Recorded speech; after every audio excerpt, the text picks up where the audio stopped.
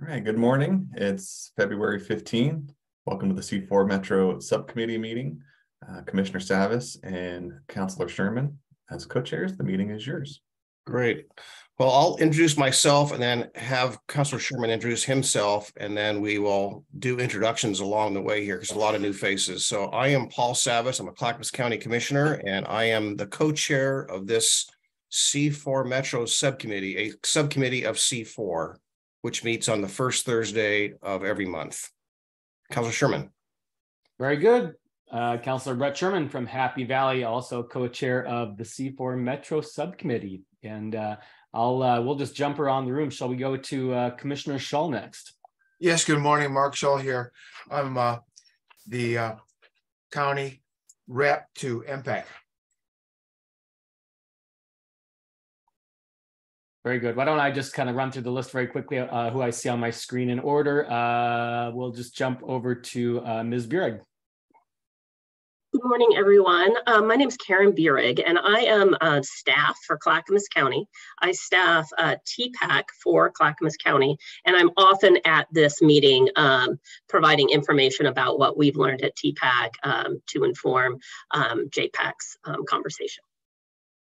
Very good. Mr. Myers. Morning, everyone. Martin Myers, Redland Viola Fischers Mill, CPO. I'm also the uh, CPO rep to C4 um, and uh, am involved with uh, CCI peripherally and also the CPO Summit. So good morning, everyone. Very good. Uh, Commissioner Mitchell. Good morning. I'm Mike Mitchell. I'm the commission president in Oregon City. My, my apologize for not knowing your appropriate title. Uh, Councilor Pratt. Valerie Pratt, Tualatin City Council. And Mr. Williams.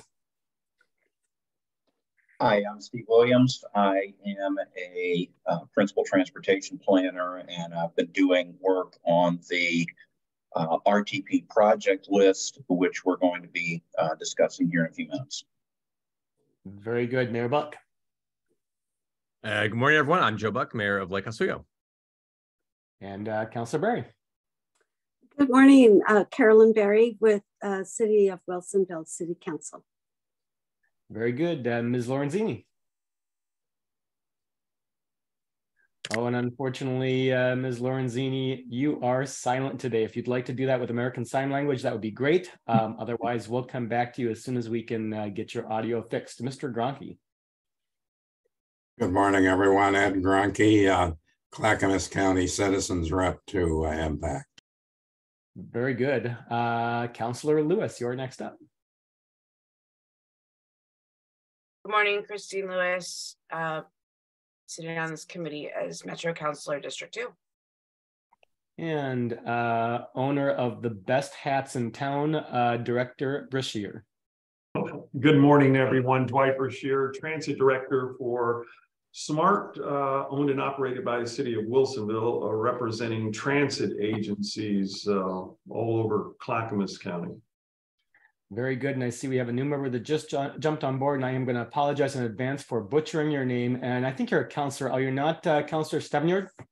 Yep, that's right. Rebecca Stavenjord. Um, I'm a counselor in the city of Milwaukie. Very good. I believe that's the whole crew. Uh, Commissioner Savas, I'll turn it right back over to you. Great. Oh, and, well, and Mr. Wilson, I apologize. And welcome everyone um, to uh, our uh, C4 Metro Subcommittee meeting. Uh, so Trent, it looks like um, Steve Williams uh, and Jamie Lorenzini are going to be presenting on the call for projects.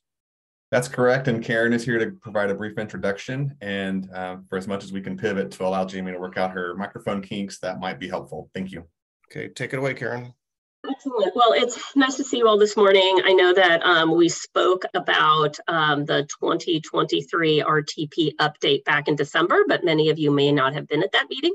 Um, but uh, what we're here to talk to you about is a coordinated project list.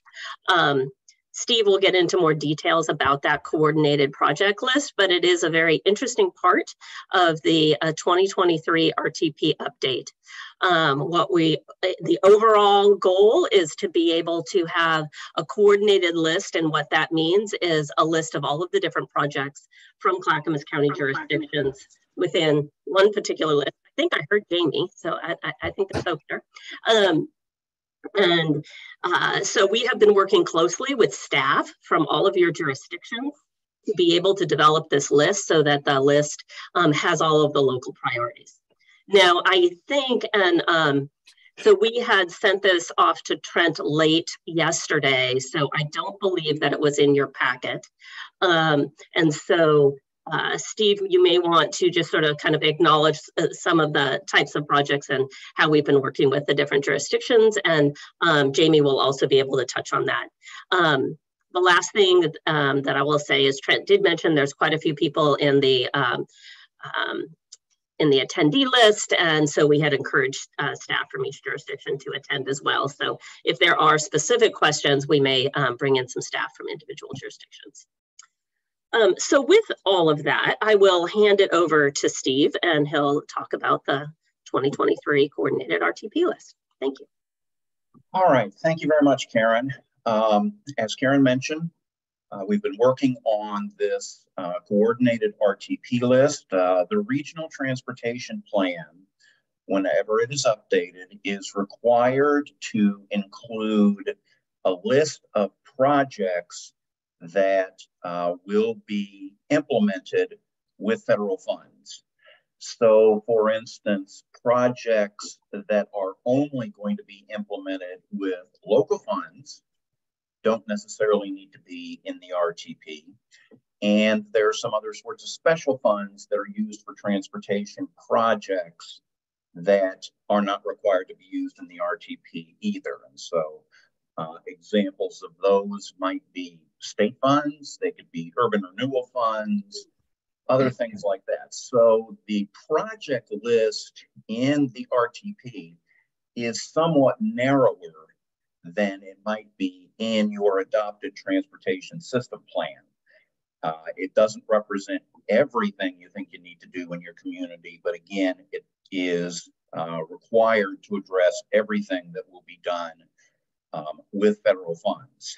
And so, um, as a result, we have to allocate the funds out to uh, the local governments, both on the basis uh, we have to balance, you know, their needs for those funds as well as the funding that the federal funding that is available and the eligibility of the projects. Uh, as you'll see, when we look at the project list here in a few moments, there are actually three project lists that uh, we're required to develop. One is sort of the short term um, federally funded project list. And in this particular uh, 2023 RTP, that short term list will include projects that are to be developed between 2024 and 2030. And then there are two sort of uh, long-term project lists. Uh, those each cover the period from 2031 to 2045. Uh, there is what we call the constrained 2031 to 2045 uh, project list, which includes projects which um, the localities anticipate will be done using federal funds and which they believe they will have adequate federal funds to proceed uh, with those projects. And so that's why they're referred to as constrained. Uh, and then there's another um, project list that covers the same period, 2031 to 2045, that we refer to as the strategic list. And those, uh, the projects on the strategic list are projects that the local governments would like to develop, but at this point, they're not sure if federal funds will be available for those projects. And so they want to have them in the RTP so that if funds should become available to, you know, due to an increase in funding or some grant source, they will be able to uh, work with Metro to get those moved into one of the financially constrained lists and ultimately uh, moved forward, uh, but they don't, when they're in the strategic list, don't get counted against their expected budget uh, for federal funds. So um, in the past, Metro has allocated specific amounts of money to each of the local governments for their projects. In this RTP, they didn't do that. What they have is they've said, we've got this total amount of federal funding for each of these three um, lists, or we uh, refer to them as buckets. We have enough money for each of these different uh, lists, and you all need to figure out within your counties how those will be distributed. So for the past oh, six weeks or so, we've been going through a process whereby we have been um, looking at those list of projects.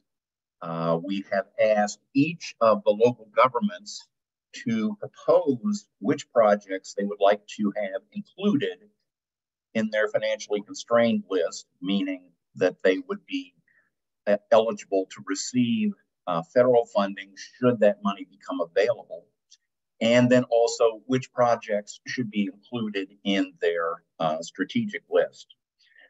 Uh, in your memorandum on, I think it's page six of your packet, uh, there is a memorandum from Karen and I uh, kind of describing this overall uh, process. And in the middle of the first page of that memorandum, you can see the total amount of federal funding that is expected to be available uh, in uh, those different uh, funding uh, groups or buckets. So for 24 to 30, there's expected to be about $473 million in federal funds available for projects uh, in the metro area of Clackamas County.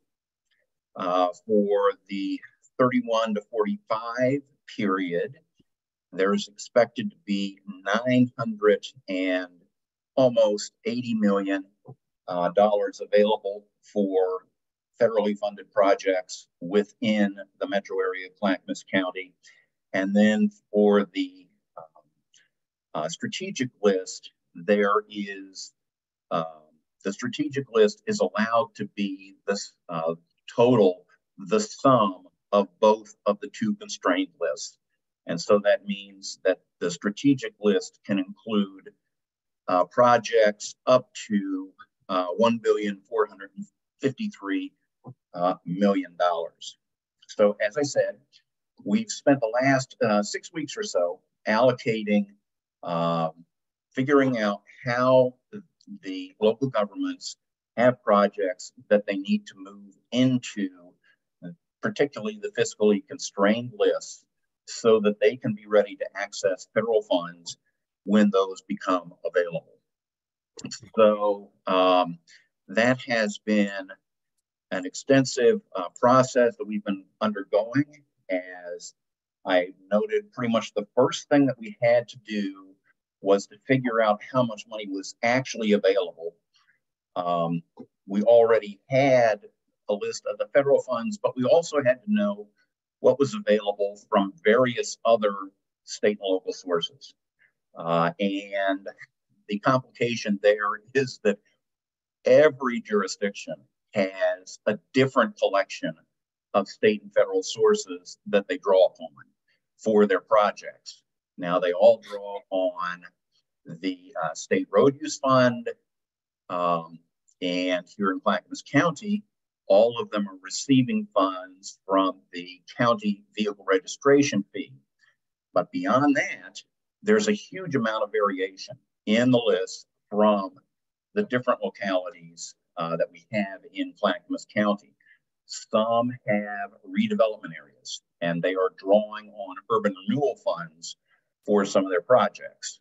Um, other localities have other types of special local funds that they can draw upon that are not generally available to all of the rest of the uh, localities. And so the first step in this process was developing a list of the expected revenue that was going to be available to all nine of the cities, to Clackamas County, and to NCPRD, uh, which we did uh, early in January.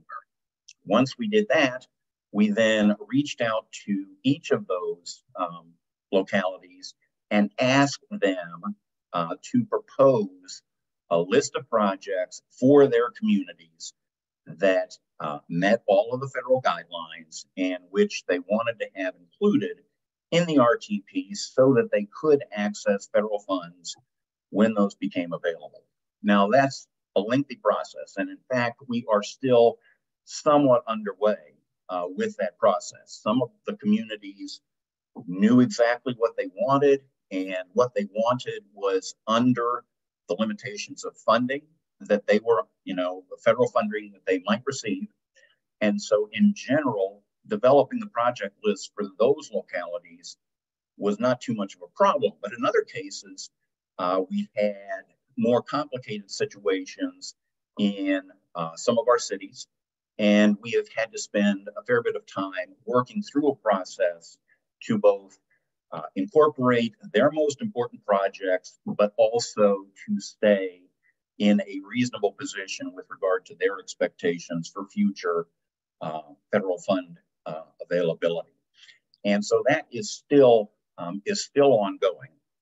So we don't have a complete and final list to present to you this morning. What we have are a report on how that process has been going and a list of the projects uh, that are have been proposed by the localities as of uh, really yesterday morning. But this list is continuing to change. And in fact, after I prepared the materials that I gave to Trent uh, for this meeting, I actually received more proposed changes. And so over the next couple of weeks, we will be continuing to, to refine that list to both um, help the cities meet their particular needs as well as uh, stay within the limitations of the federal funds uh, that are available.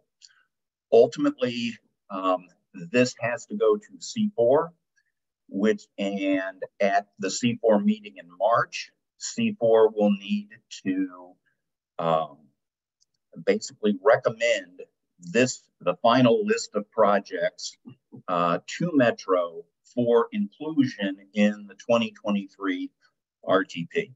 And then Metro actually goes through their own process of developing a project list that incorporates all of these projects from Clackamas County as well as from Washington County and Multnomah County and Portland, as well as uh, the DOT and the transit systems.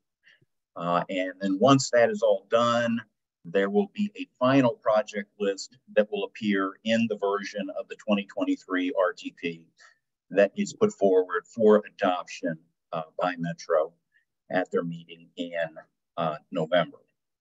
So that is the process we've been going through. Uh, and I would like now to share my screen so that I can kind of show you where we're at at this moment.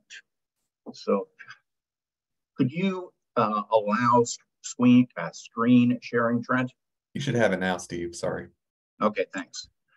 All right. So here is an overall summary of the um, total for the projects that have been forwarded by each of the localities. Um, the uh, cost of the proposed projects, which is really kind of the more interesting table here, is shown uh, down in this part of the spreadsheet. And so it has a list of all of the fund federal fund recipients.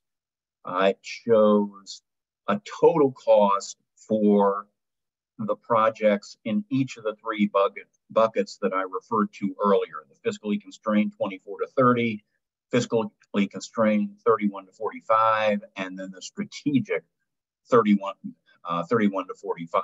And so as an example for a city, Happy Valley uh, is proposing $83.7 million worth of projects in the short term 24 to 30 constrained uh, bucket. They're proposing $124.6 million of projects in the 31 to 20, 45 time period, and then 210.4 million dollars in the strategic time frame. Those numbers were the result of Happy Valley going through the process to try to figure out which of their projects should be included uh, in the RTP and be eligible for federal funding in the future, and also a process of balancing the amount of money that was going to Happy Valley uh, and the amounts of money that were uh, proposed to go to to the other cities and the county.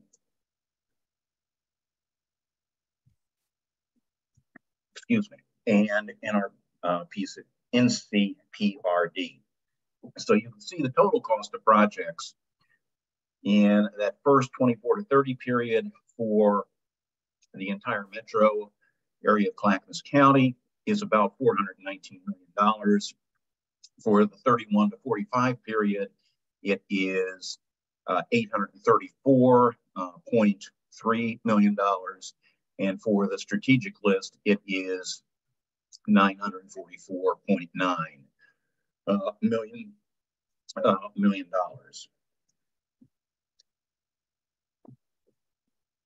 The next part of the table down shows the total available funding, both in regional funding and in federal and state funds.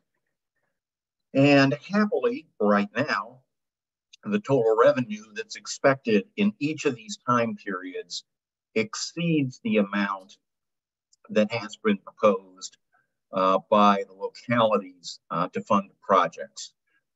Uh, if we had, if we got into a situation where we had more projects proposed, more cost of the projects proposed than revenue available, then we would have to work through a process with the uh, funding recipients to uh, cut back on the list of projects that were proposed. And generally, you do that either by uh, pushing projects out to a later year in the funding uh, time period, or you can cut the project out of your list, or you can reduce the scope of that project, not pave as much of a road or not build as much of a multi-use path. Uh, and then finally, the bottom part of the table is just the cost and revenue comparison.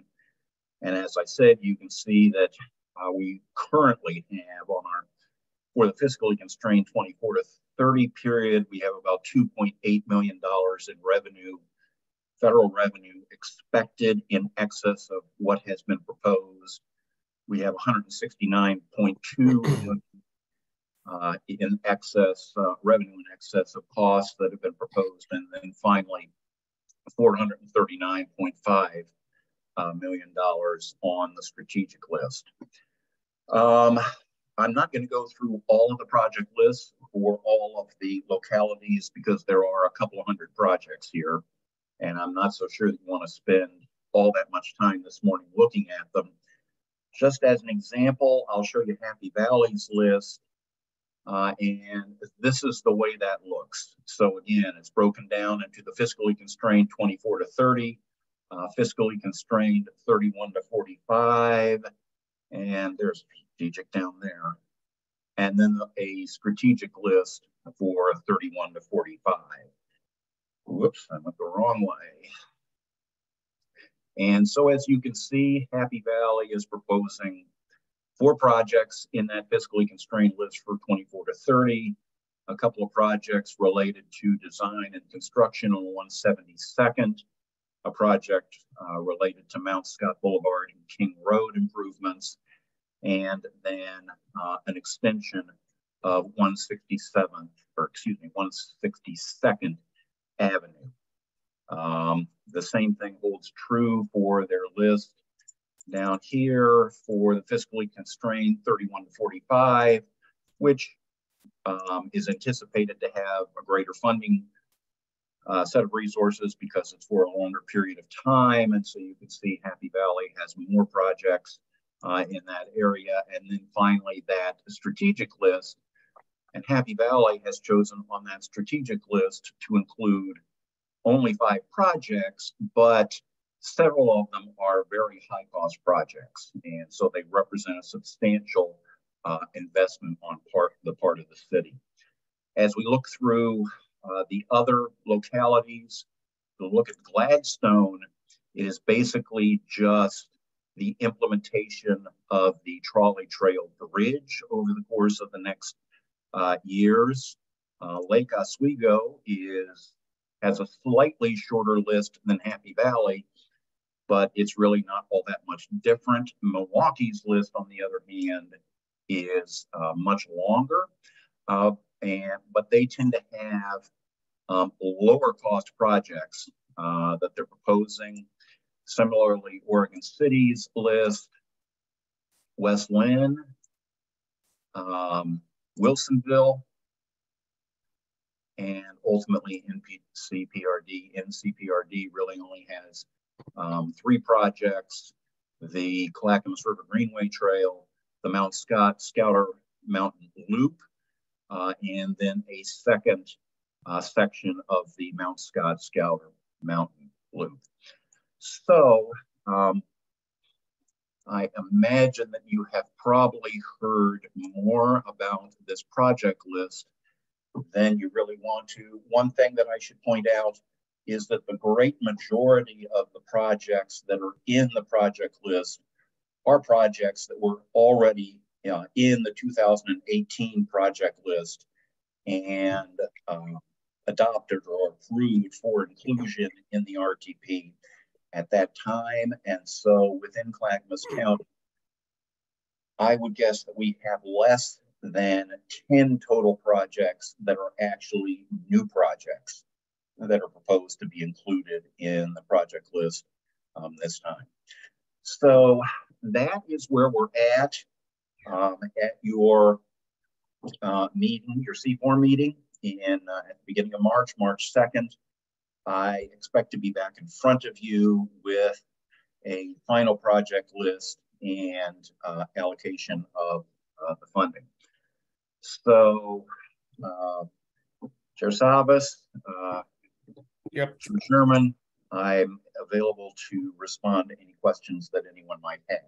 Okay, well, well, Stephen, thank you for the presentation. Uh, great job. Um, one thing that I want to just highlight, and I'm not sure how we're going to wrestle with it, and say we, we, the county commission, and then of course us at C4, um, you know, on March 2nd, and that is um, the ODOT projects, which are under the regional thing, corridors, for example, the I-205 corridor. You also mentioned the tolling. So I don't know where we're going to be on this tolling issue because the projects that have been um, that I've seen thus far, none of them are solution oriented as it relates to the the um, challenges presented by the tolling project on, on the I-205 corridor.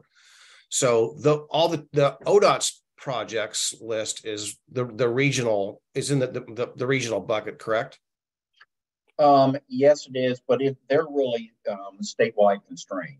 So it's how much money um, Region 1 can expect to receive uh, through the state for their particular uh, collection of projects. And so, as you mentioned, they've included the toll funds in there, they also have a lengthy list of projects that are proposed to be funded by federal funds. Right. Well, you mentioned early on that the tolling, um, the tolling program was embedded in this RTP. So that's why if I start with that piece, then of course I'm going to be looking for, and the commission is looking for solutions as to some of the challenges that are created by that project. And I we have seen none. So therefore, more to come, perhaps or not. But I just want to say that's one of the challenges and hiccups that we might have in this in this uh, this list. So I will go to the first hand up. Uh, well, Karen, I see you flashing. You want to Yeah, say something I, real fast? I just wanted to um, also add additional information to that comment. You know, it has been challenging working within this environment and this RTP related to um, the expectations that might happen around tolling. So every single project that's in the RTP needs to be in an existing plan. And all of our existing plans were not built with tolling um, assumed within them. So if that makes sense, you know, you need to have a project that's in a plan. Um, the the outcomes of the tolling and the different traffic models related to tolling and the solutions, they're they're still evolving. So I think that that's one thing. But I think another thing that I'll really um, call out right now is the way that this process is set up. Is is that all of us, all of the jurisdictions are going to submit their projects that they have on their lists um, on Friday and into the RTP process. And then Metro will do some analysis related to the projects that, that are submitted. And within that analysis, they will be assuming that tolling is being implemented. And so the analysis may come back and show that there are areas that we still have needs.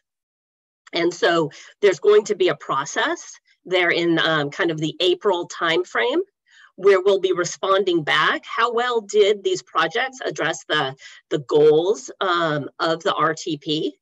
And so we're, we're anticipating that there's going to be some time in there in the spring where there's going to be revisions um, and, and kind of fine tuning of those project lists. That's part of the whole process. But right now we're putting in what we know um, and what are all, what are on our plans right now. So, um, so I just wanted to also put it in that context. I'd also say in a, in, in a little bit, you'll hear from ODOT about their particular project list.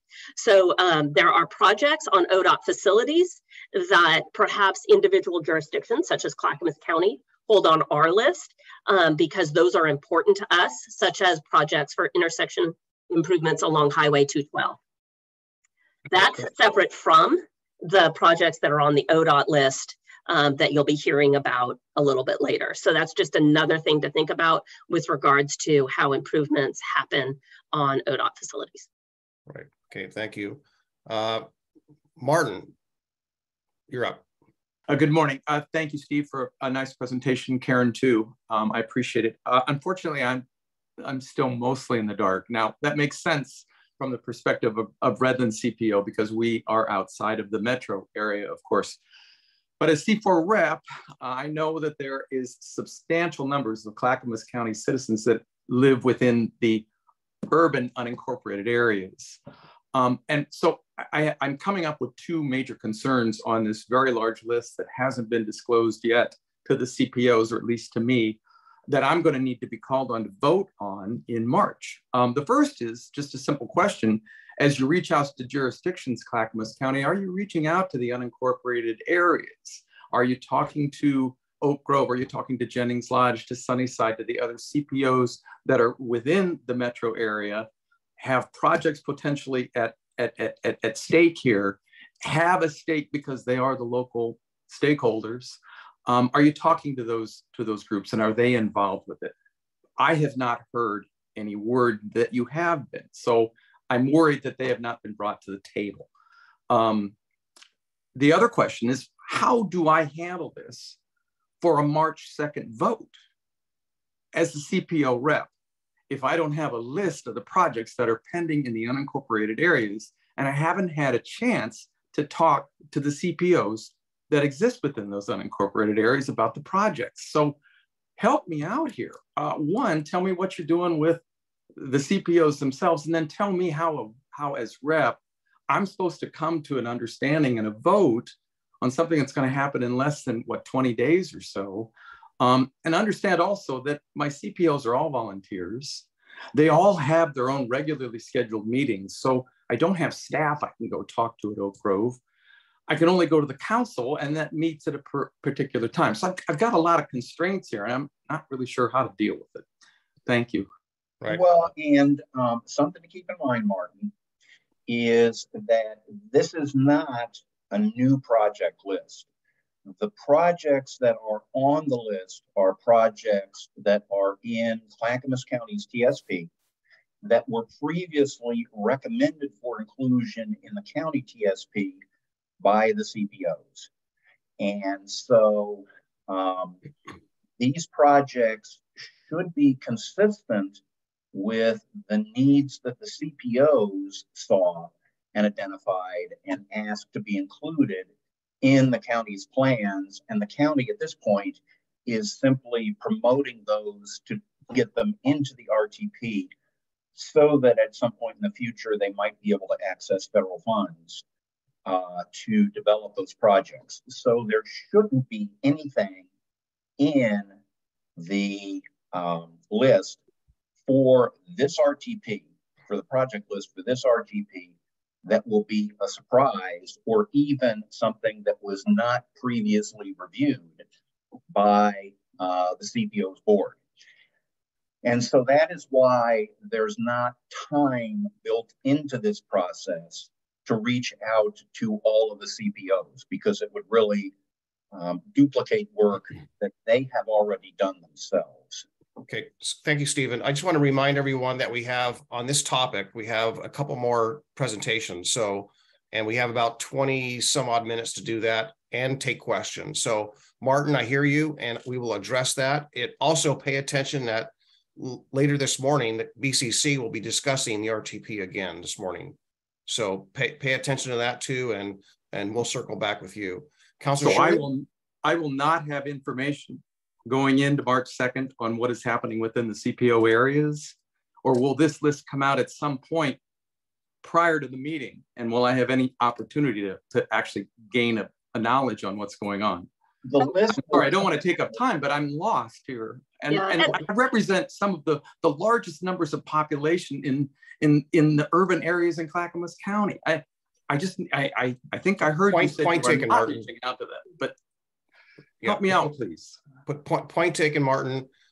As this is moving and they're coordinating, we're all learning. You're not alone. So um, there, there'll be there'll be that outreach, and it'll, it'll be listed. And granted, this has been going on a long time, but there again, the changes are dynamic, so they're not they're not static. Uh, Councilor Sherman. Very good. Thank you, Commissioner. Um, you know, uh, I, I agree with your uh, your comments on, uh, you know, as we look at these projects in relation to kind of the imp impacts and implications of tolling, you know, very difficult to, to even create those projects, not knowing specifically what the outcomes will will be in a very uncertain environment. Question I have uh, is probably for Mr. Williams. So as you kind of flashed up the um, the Happy Valley projects list, it, it looked a little different than what I've seen historically. And so is there any, do, do we need, is there a way staff can kind of work together to make sure that aligns with what what I've seen, or you know what what are the risks if um, you know me as a counselor we're going to vote on approving our list? What if that doesn't match what's on there? Is there a kind of a disconnect, or or what what do I need to do to make sure we're communicating properly? The list that we have for Happy Valley was put forward by your staff as a recommendation to us, and we've been working closely with them to make sure that the projects that they prioritize fit into that list. So uh, it should look very familiar to you. We're not picking those projects. Uh, the look of the projects that are coming out of the city of Happy Valley are projects that have been proposed by the city of Happy Valley. And, okay, and I, I mean, also, I, I guess I, I, would also add that we will double check with each of the city representatives before we submit um, the, uh, the the list. So we'll we're going to still go through that process. As as Steve was saying, this has been kind of an iterative process where the the revenue streams have been changing as well as the various project lists across time. And so we just we will, um, we will be doing that. But I think the most important thing that we have learned so far is that our revenues are generally in balance with our expenditures. We're not finding that we're going to be out of balance um, from uh, from the amount of project costs that we have and the revenue that we expect. Oh, right. No, no. I just, when I had noticed like on the first list you put up with the 2024 to, to 2030, there were like four projects listed in Happy Valley, and I've only got three on my list. So I, I just didn't know if there's just like something moving around or I, I just, I just don't know the implications if we either have something extra on the list that we didn't mean to have there, or if we had something that didn't make the list, what those long-term implications are, like from a federal funding perspective and, and stuff like that. So I'll I'll leave that to staff to kind of work those details up, and I, I appreciate that. Thank you. And, something that is it would probably be helpful to you, Councilor Sherman, is that this is only the first step. So if something shows up in the RTP list, it is still up to the city of Happy Valley, in your case, to ultimately secure funding for that project and then go ahead and develop it. And so it is not unusual for projects to be proposed in the RTP that do not ultimately get uh, developed, and that's just due to you know changing needs. Uh, sure. Yeah. No, I'm more concerned about not showing up on the list versus too much showing up on the list. So, okay, I appreciate that. Thank you. Okay, we're we're run out of time, folks. Uh, Councillor Lewis. Sure, thank you. First, following up Commissioner Savas on your notation that the tolling project is in this RTP, I think that it's significant enough to bring up here that the tolling project itself is, but the tolling revenues are not on the revenue side of the equation. Obviously, this is a balance exercise of projected money in and desired money out and to not be able to touch those revenues goes broader into the troubles that we are seeing with the 205 project. So I want to highlight that here. My question uh, for this uh, morning's presentation is, in your spreadsheeting, do you have any demarcation or way of tabulating the projects that might have a future nexus with transit? Um, or are we going to have to come back and look later to see what percentage or which projects might um, enable future transit investments in Clackamas County? We work with the transit systems with SMART and uh, TriMet uh, in the process to identify projects that they want us to include. And that can include, you know, like improvements to the streets that are necessary to better uh, enable transit, or it could include specific transit projects, acquisition of, rolling stock or other building facilities. So their, their projects are incorporated. They go through a process that is more region and state oriented than the local government's project uh, list development is. So, but we're interacting with them and incorporating their uh, recommended projects into the county list. I totally understand their process, but in terms of our, our roadway improvements, do we have like any bus on shoulder right of way that we're buying on any of the land acquisition, right? Like that kind of uh, integration. Uh, I'm not aware of any bus on shoulder projects. I'm sure Dwight is more familiar with the transit list than I am. Um, and but uh, there are one of the projects that there's been a lot of discussion about has been transit-oriented improvements on the McLaughlin. So I'm gonna I'm gonna cut in because TriMet is is one of the presenters, and maybe they can address that question uh, more appropriately than Stephen can. So Trent, uh, do you have your hand up? I see. You have my hand up. So I just want to remind this group, ODOT and, and TriMet are here really more as FYIs. And I say that with the full respect of the work that they're doing to do their RTP list. You have a decision to make, which is really important. And Steve, let us know what decision this group needs to get to so that they can prepare for the information for the March C4 meeting. So my recommendation to you, um, Commissioner and, and Counselor, is that um, take the time that you need for this conversation because this is the decision point for C4 is what's going to come out of out of this discussion. And so my question to Steve then is what does this group need to do or act on today in order to prepare for the March 2 C4 meeting? If there if there's no decision, that's fine. Then my next question would be, what will they be seeing at the March 2 C4 meeting and when will that information be available at, at the earliest since this list is evolving? Well, what they'll be seeing will be the final version of the list that's coming out of the staff uh, coordination process uh, that's been taking place. And so it should include all of the projects that have been put forward and um, are proposed to receive federal funding.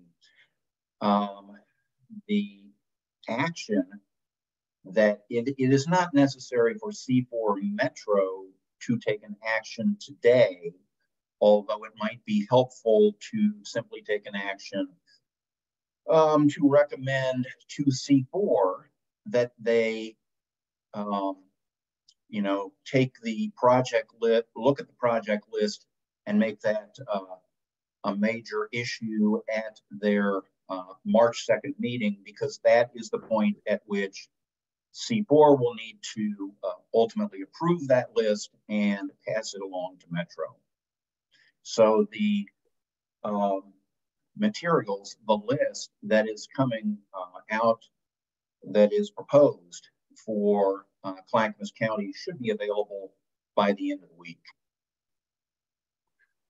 Okay, uh, Trent, um, I, I couldn't help but notice on the agenda that we got a ten minute carve out for ODOT and a ten minute carve out for TriMet. So we don't have that much time. So maybe I can ask um, ODOT, number one, to address, you know, briefly to address some of the things that came up that related to ODOT.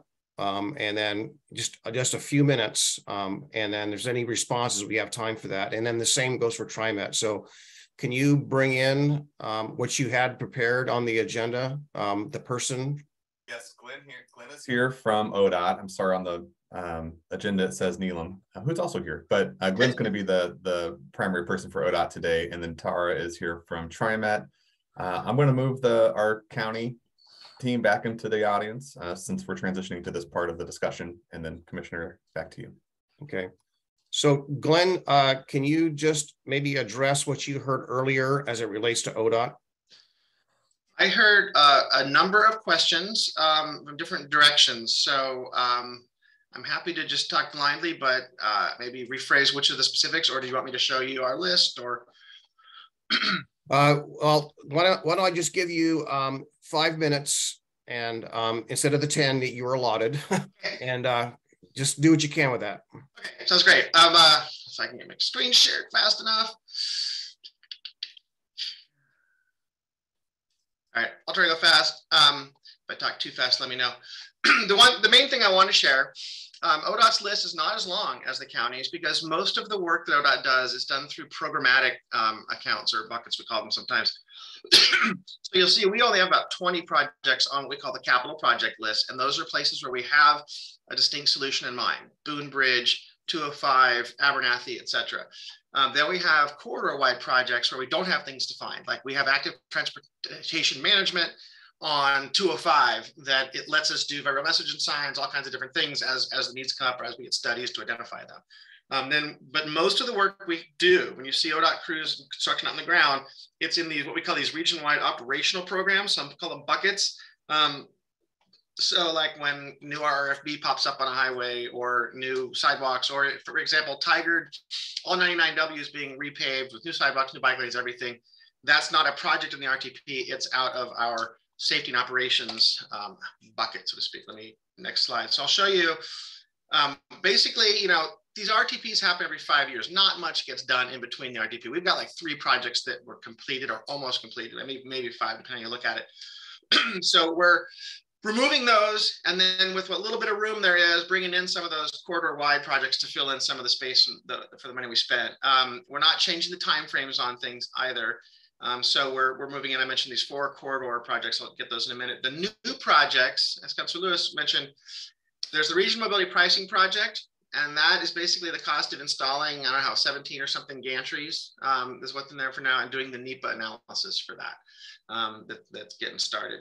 And then the redefine the construction on I-205 includes the, the tolling, um, as you know now, to pay for that uh, construction. And then there's a trail out in the Sandy River Delta that isn't uh, interesting to this group. There was an earmark from Congressman Blumenauer that we've just added. So if you look at the last RTP, this is the, the map that went out. Those orange lines were projects. The stars are where things have been done.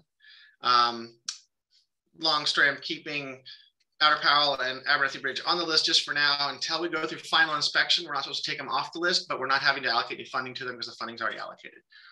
The new map of our project list, you can see we've got these 20 projects and you can see, you know, uh, in this case, we've got um, the Sunrise Phase 2 out to Happy Valley. We've got uh, 212, 224, um, uh, you know, Milwaukie Expressway work. Um, obviously, Abernethy Bridge, or I'm sorry, the, uh, the, the I-2F widening um, the regional mobility pricing program. There's like some flyover ramps there at 205 to um, to I-5 North and some braided ramps or uh, aux lanes heading up toward Durham to help that North Clackamas to Washington County commute. And then obviously the Boone Bridge. I think those are the most uh, relevant to this group. I'll stop on this slide and then um, that's my five minutes, I think. Okay, uh, thank you, Glenn. Uh, one thing to Councillor Lewis's point about the revenues and the, un, you know, you mentioned the tolling, and I know, as you stated, the tolling is dedicated to the 205 project, but you also listed RMPP. Mm-hmm. And as a result of either of those two, and what we've heard from ODOT over the last year and a half, two years, is that there, there would be revenue for projects. Now, either or, you can pick which one, but there would be, there would be revenue for projects for mitigation or solutions and oriented. And I'm, I'm just, we're trying to understand that. And obviously, to, again, to Councilor Lewis's point, those revenues ought to be factoring into or be present and be known so we can know how to calculate uh, and align this. So what the struggle we've had, and you don't need to respond at all because we don't have time, but the struggle that we're having is, you know, if we don't know what the revenue is and it's not pro programmed in and we don't know what the solutions are, then we we're not we don't feel very prepared. So I'll just leave it there. Um, and I'm going to switch over real quickly to TriMet, and then we'll take questions after that. So, right. who's the TriMet person? Hi, everyone. Tara O'Brien, Government Affairs Manager with TriMet.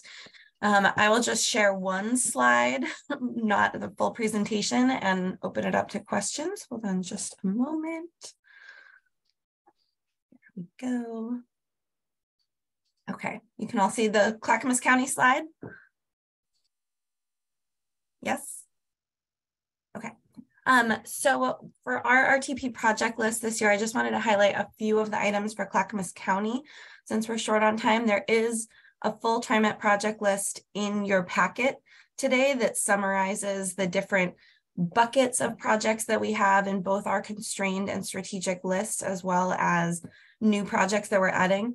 We do have a fair number of new projects that we are needing to add for this RTP, and much of that is related to federal grant funds or earmark funds that we have received. And so, as well as adding several new buckets to that align with the STIF um, programs to really be able to reference opportunities to invest in things like transit centers or better bus improvements. And so I wanted to highlight a few of the new projects on our list in Clackamas County, as well as some of the changes that we've made.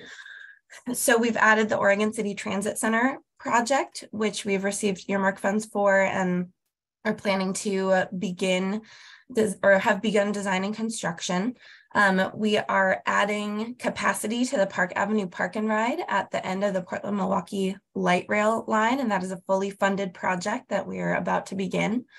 The 82nd Ave Transit project, um, that was previously a ETC, Enhanced Transit Corridor project, and we're repurposing that project to a larger um, transit investment project was, which I, as I believe all of you know, planning is underway right now. And so we foresee there could be some changes to the project description or amount as we move closer to a locally preferred alternative later this year, but we're trying to capture all the details we do have for this RTP submittal.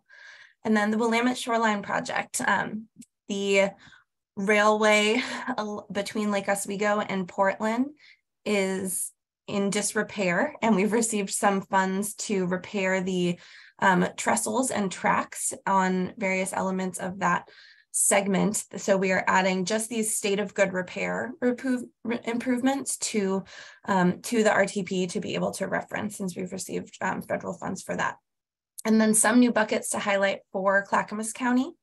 Um, the trans we're adding a transit centers bucket to both the short-term and long-term constraint because that is one of the programs of the STIF committee to be able to reference that to continue to make additional improvements to transit centers like Oregon City in the future.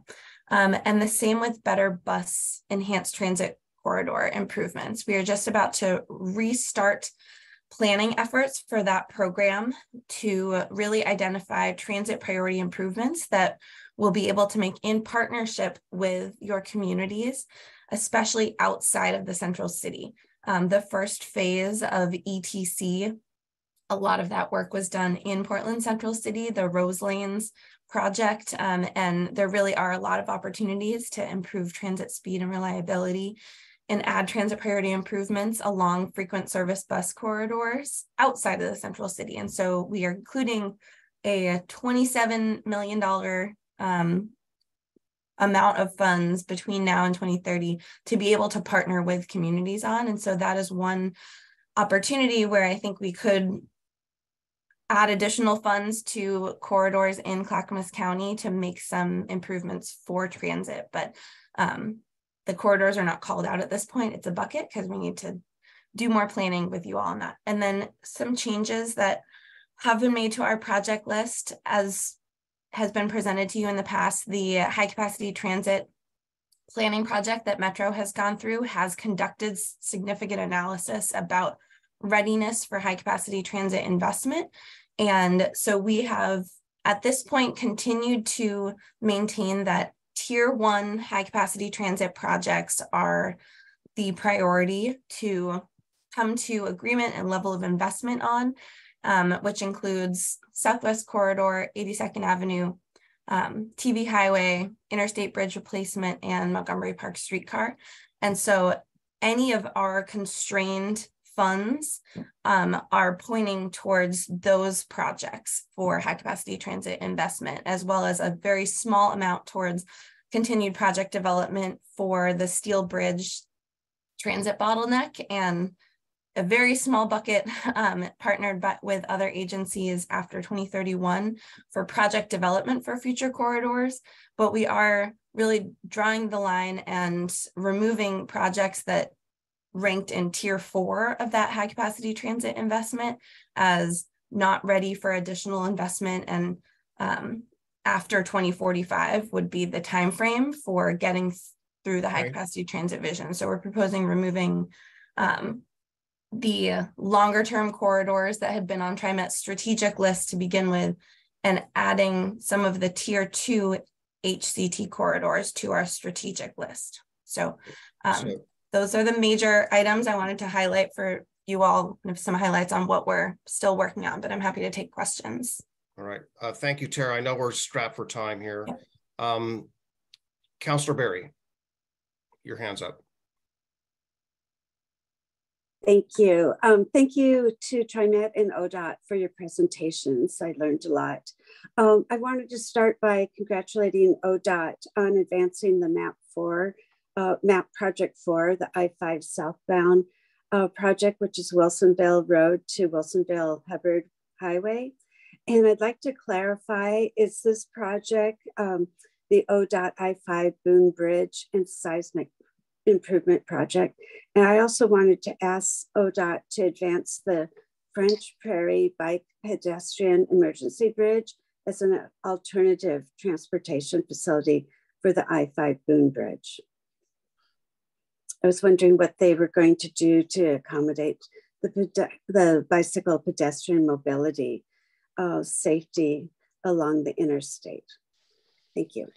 Yeah, I can answer that pretty quickly. Yes, indeed. The names of these RTP projects don't sound like the names of the things that we know. It is the Boone Bridge, but it's called I-5 South Wilsonville to Hubbard. Yeah, I did it. But yes, it is the Boone Bridge projects. Absolutely right on that one. And we have a commitment through the bike bill and through all of our modal planning to have bicycle travel in, the area. So the question is, do we do it on the new Boone Bridge or are we able to do it with the French Prairie in, instead? Um, you know, if you look at Strava, which is where athletes track their time, you can definitely see that that corridor gets bicycle use for sure. So um, I actually speak with Matt Freetag, our area manager, about just the other day, and it is a commitment, but he doesn't have any details yet on what the what the, the until we get into NEPA and, and whatnot in the design to figure out what that would be.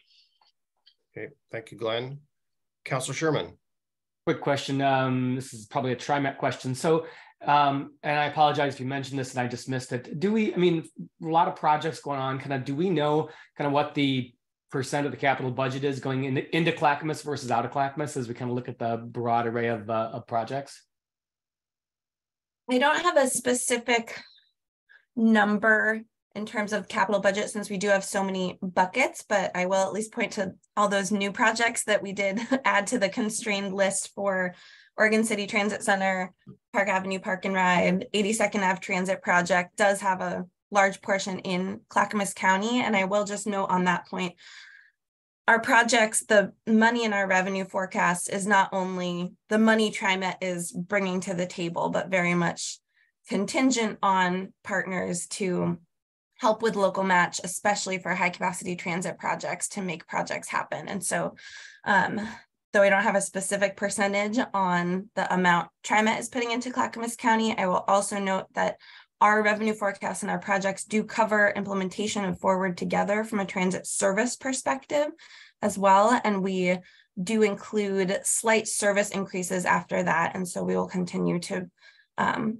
add service in Clackamas County, and that is assumed in our forecast, but I can look into that a bit more. There are several new projects I was able to highlight in Clackamas County more than other um, presentations I've given. Very good, thank you. Yeah, and of course, the thing of interest, uh, Tara, you're maybe new to this group a little bit, um, Mhm. but the, but I think the issue with us is getting um, access to transit and coverage. Essentially, capital projects are nice, and I can see where they help in that regard. But I can tell you on the corridors that are lit, at least one of them that's listed in Clackamas County. Um, I forgot what tier it is, but um, the the issue there is people getting to the corridor Mhm. not not the level of service. Obviously, just getting to it. That's our biggest challenge. Uh, Mr. Brashear, you're up next. Yeah, good morning and thank you. Um, uh, Tara, um, you know, I have the benefit of kind of uh, wearing two hats. I participate on uh, both Washington County and Clackamas County. I think out of fairness, uh, though it is not uh, located in Clackamas County, it does have implications in Clackamas County. So can you talk about uh, recent decisions made about the Southwest Corridor project uh, so that this group understands, um, you know, what what we're looking at there. Yes, absolutely. Thanks, Dwight. So we, in our last, in the last RTP, the 2018 project, we had included the entirety of Southwest Corridor in the constrained forecast, including construction. Obviously, with the funding measure in 2020 not passing, that had been a significant funding source to advance that project. And so we have continued to include a small amount of ongoing project development in the short term forecast for Southwest Corridor, as well as worked with partners to identify some revenues that we could point to in the out years constrained forecast. So after 2031, to include a portion of the Southwest Corridor project and a large enough portion that it does keep it on the constrained list for the purpose of modeling and point an important signal that this project remains a priority, but there is still not enough local revenue to be able to advance this. We need a new source of funds to be able to fully complete this project and deliver it, but there is still commitment to making this happen. And so Washington County Coordinating Committee on Monday did make did vote to add some of their constrained revenue specifically towards match for Southwest Corridor to signal that this remains their top transit priority that they want to make happen. So it's at least continuing to keep it alive as a project and recognize that there's more work to be done, but that there are some local commitments to continuing to advance it. Okay, thank you. Thanks, Dwight. Uh, Councillor Pratt. Last question. Thank you for your presentation. Um, I just wanted to express disappointment and I, I wondered why you um, removed the WES upgrades from the list because I, I know that Southwest Corridor is still on the long-term hopeful list without funding, but you're taking away the 96 line. So we in Tualatin have no direct, you know, fast route now to downtown. And on top, the, my second point I just wanted to say is to echo what um, Commissioner Savas said about needing, we need um, ways to get people to these transit corridors and, you know, especially in Clackamas County. Thank you. Absolutely. And so I will quickly first say we do have a, a small, a very small access to transit bucket that TriMet maintains on our list to continue to show that that is a need. Um, but we really do work with local partners to deliver those access to transit projects. That's not in our jurisdiction. Um, crosswalks to bus stops, ADA improvements, things like that are do sometimes show up on our list, but less the larger access to transit projects. Um, in terms of WES, we um, it's the longer term double tracking project that we are removing from our strategic list after analysis just showing the um, that that corridor is less ready for a additional significant investment in double tracking and the frequency upgrades though we could um, there's some frequency updates possible um, in order to really increase service throughout the day and increase frequency we'd have to buy additional trains. And so that large project is the um, the one that has just not seemed feasible to include in the strategic list and based on the low ridership that we currently see in that corridor. Yeah, thank you. Um, I'm just going to close with a comment and then pass this on to the next agenda item to um, Councillor um, Councillor Sherman. Um, and that is, um, you know, I understand that the different bucket of operations and maintenance for TriMet and also the capital bucket. And I think that if there's anything that on the capital bucket that can be done to improve access in light or in, in lieu of apparently uh, resources to put shuttles in is to put more parking rides in in strategic locations. Oregon City begging for that along along some of these corridors because if if frankly if you want to get more access and ridership and and you have more capital dollars available typically than op operations and maintenance uh, park and rides is a means of access so i'll close with that and council sherman the next agenda item is yours thank you commissioner savas so i think we've got a tpac update if we could kind of keep that very quick um don't want to keep people too much past the uh, the top of the hour yeah, I can be brief if you can hear me. You can hear me? Oh gosh, victorious. Success is wonderful on a Wednesday. Um, so TPAC's really brief. I won't keep or quick flyover of your JPACT agenda, getting you ready for the meeting tomorrow. Uh, JPACT has three topics that might be of interest. One is the 2023 RTP update. We've hashed that out here, so I won't repeat it. Um, another major thing JPACT is doing is an action item for the purpose of endorsing the preferred alternative for the earthquake ready Burnside Bridge project. Um, and by way of background on that, TPAC recommended in January that JPACT endorse the preferred alternative um, alongside the adoption of the preferred alternative by JPACT and the Metro Council, Multnomah County anticipates submitting the construction phase of the project as part of the 2023 RTP call for projects um, to be considered in the RTP financially constrained project list. Inclusion of the construction phase um, would satisfy the federal requirements that must be met for FHWA to ensure a record of decision for the project. Uh, so that's just a heads up. The other heads up is um, JPACT will be receiving an update on the Climate Smart Strategy, which is the JPACT Council Workshop recap, and an update on climate friendly and equitable communities. Included in our TPAC staff memo today in your packet, we've included some dates that Metro proposes to comply with the CFEC requirements um, so I'd encourage you to take a look at our TPAC update, um, which may be the main things to be aware of. Are there any questions?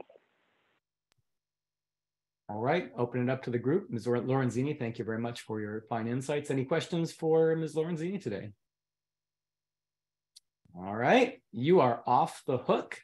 Thank you so much for your time. Thank you jumping to our next agenda item is an MPAC debrief. Um, did I did we lose uh, Commissioner Shull along the way? Looks like we may have. Um, uh, anybody up for for an MPAC update? I can throw it out there. Mayor Buck, you can. Whatever your choice is. Um, go ahead. I have I have notes if you need me to though. Okay, I think it. Uh, I mean, it seems like we've we've updated on MPAC like six different times at different meetings. So uh, last uh, last go around was an update on the uh, the high capacity uh, transit strategy, um, you know, that you're, you're all very much familiar with. We also uh, had an update on the uh, the garbage and recycling system facilities plan. Um, and so that was uh, very interesting, you know, to, to kind of address the uh, the needs on, you know, the west side of the metro area that uh, that is apparently a very long distance to uh, to get to these uh, these areas. And I think that was all that we had at the last, last meeting. Am I missing anything? trying to get us back on track right at on 840. Look at that. So with that, any questions, comments on MPAC before I turn this back over to Mr. Wilson? It's yours. All right, thank you very much. We're transitioning now to essentially a city caucus to make decisions about who will sit on the JPACT cities seat and also the MPAC other cities seat. So there's a member and an alternate decision that you get to make for both of those. And I recommend that we start with the JPACT discussion because there's already been some nominations that have been sent to me. Uh, that nomination includes Mayor Buck as the primary and Councillor Sherman as the alternate. If there are other nominations, this is the time to let me know. I'm seeing none. Uh, so I just I will say I'm as the county staff person I'm just here to facilitate right this is a really a city's decision and I'm here to help you uh, according to the JPACT bylaws um, this has to be in, a recorded vote of some sort and so I'm gonna do my best here but I um, we have I have this poll I'm gonna see if I can launch this poll give me a second it's really simple hopefully you're seeing something come through now it says Mayor Buck is primary and Councillor Sherman is alternate click yes or no just like in high school or middle school, passing those notes.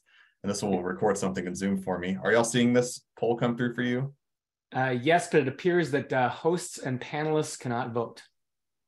Oh, you know what? That's great. That makes that easy. Pretty so, cool, huh? Yeah. So who gets to vote then? Uh, if, if not for the host and the panelists, that's that's wonderful. Attendees. All right. Well, we'll uh, we'll call this one that we uh, did our best and tried for. And so I will, this is a recorded meeting and I think a hand raise is a recorded function as well. And I'll, uh, I'll bite the bullet with Metro staff if, if that's um, something to have to navigate later. Um, so perhaps a, a hand vote amongst the cities will be sufficient for today's purposes in the good faith that we tried. Very good. Do you want to do you want to call for the vote or uh, how how shall we do this? Just uh, just a show of hands, a show of hands for yes and a show of hands for no. Yes, please. Um, cities only. Cities only. Okay. Well, um, so uh, those in favor of the uh, slate proposed, uh, let's show a raise of hands. All right. All hands say yes. Uh, any no's? I didn't notice that there were any that didn't that didn't or abstains. All right looks like we uh, we have our JPACT uh, uh, members in place. Excellent.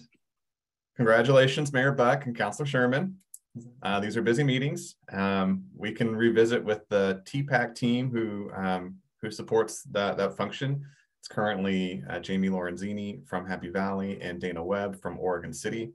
Um, they have they also have a rotational membership and that's been decided based on you know who who is the member at the time um, and who can provide support so uh, we'll work with the tpac team to revisit that discussion and that that may be another decision that y'all uh, get to weigh in on so stay tuned on that uh, transitioning to the MPAC other cities seats this one's a little tighter of a decision it's cities only and not oregon city or Lake Oswego because y'all already have automatic seats. And so it would be uh, here today, Wilsonville, Milwaukie, Tualatin, Happy Valley.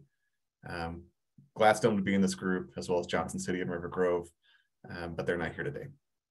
So amongst the four of you, um, do you have nominations for who would be sitting in that MPAC other cities seat? So, so question, Trent, is this the the seat that I currently hold, or is this the complementary seat? This is a different one.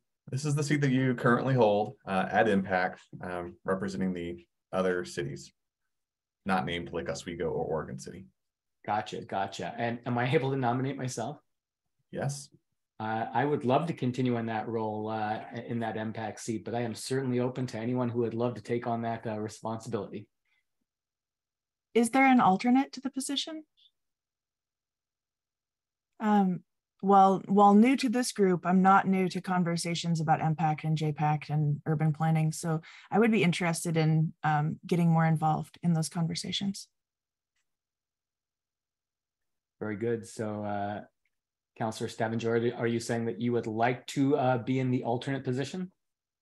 Um, sure. Yeah, I'm open to that. I'll All be right. your wingman. Very, very good. Thank you. Uh, any other takers that uh, want to step up for either of those positions? All right, looks like we have a vote to take. Mr. Wilson, do we take these as separate positions or as a slate, or does it really matter? I would say to take it as a slate since there are no competing positions here. All right, all those in favor with uh, me and Councillor Stavenjord as uh, as the alternate for MPAC. Oh, I'm sorry, uh, uh, Councillor Bear. Oh, you are you voting? You're getting close to voting. Okay. Um, well, I didn't finish my stuff yet. Come on. Um, all those in favor of that slate, let's see a show of hands. Looking around the room. Okay. Mr. Wilson, you've got that. Uh, any opposed? I didn't notice there were any that uh, or any abstains. Done deal. Easy peasy. Uh, thank you very much for that. Um, sorry about the processed vote and the polling. We'll work on that. We don't do a lot of those at C4, and so we'll improve on that one. Thanks for your help and for letting me know about the technical uh, nuances there. We'll work on that. Uh, that's all that I have for this particular meeting. Um, I've heard and know the concerns about the information for the, the project list in earlier discussion. And so once I have those from the staff teams, I'll make sure that that's available for those C4 members who will be needing to vote on that. If it's available before the packet goes out, I will um, try to give it to the C4 members, but it will absolutely be in the packet a week in advance. That's only a week and a day away uh, because February is such a short month, as we already know. Um, so on February 23rd is when the packet will go out. That's so early, or it feels super early to me. Uh, Commissioner Savas. We're good. Yeah, um, so I gather there's a little bit of leftover time. Okay. Yep. Um, one thing I want to, because there's so many new faces here, one thing I wanted to, to remind everyone or inform everyone for those who don't know, um, and that is that the uh, this group does not really make decisions. Um, what we just saw here was a function of the cities, for example. So that was a city only. So we, you know, we are convened or allowed to convene either, you know, through, um, you know, metro processes for the for that. But the main purpose, just to give you a little bit of history, the main purpose of this particular group, which used to be called pre-MPAC, pre-JPACT, uh, was to just coordinate before those meetings um, so that we would where possible, could coordinate and be more effective at the table on behalf of Clackamas County and our, our cities within. Um, the the this is a subcommittee uh, of the Greater C4, and Clackamas County is by population half urban, half rural, and Metro is approximately half half of that covers half of that population, mostly urban, obviously, or, or urban for sure. And um, uh, so again, some of the decisions we make or recommendations we make go to for final approval to the C4 body, which again is all of it, which includes districts, CPOs, and others. And there's also some ex officio seats around the table, like the Port of Portland, if they attend, and some of the other agencies. So um, just want to give that background and um, and are there any questions related to that? Uh, I can answer them or Trent can answer them. If if you think of something later, Trent's a great resource. And I also want to acknowledge Trent's great work of managing all of these different committees and so forth. And, um, you know, so is, are there any questions to that? I have one more thing I want to mention, but I'm going to be respectful. I don't jumble everything together here. Okay, great. No questions. So last, um, Martin, I heard you well.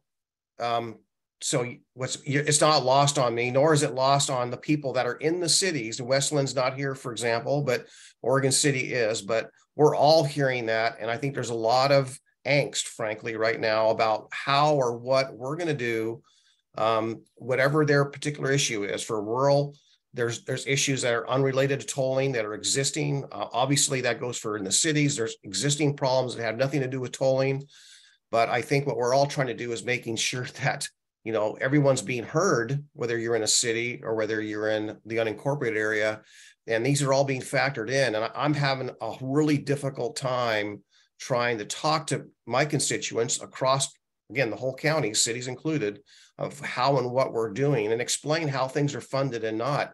So i really appreciate councillor lewis earlier making the statement or the concern about we really don't know what monies are there. And and you know my concern about how you know how or what solutions are going to be identified for tolling impacts and let alone where the funds come from. So there's a lot of unknowns and none of us are sleeping well and i at least I, i'll speak for me. I'm not sleeping well at night on this one. So um, and um, that's all i had.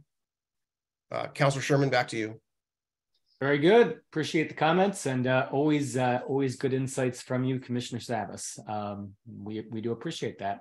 Um, wow, actually got us caught back up again, and we're ready to rock and roll. Anyone else have anything for the uh, for the good of the order? Well then, with that, um, make today the the best one yet, huh? Let's go out there and uh, fight the good fight. Take care, everyone.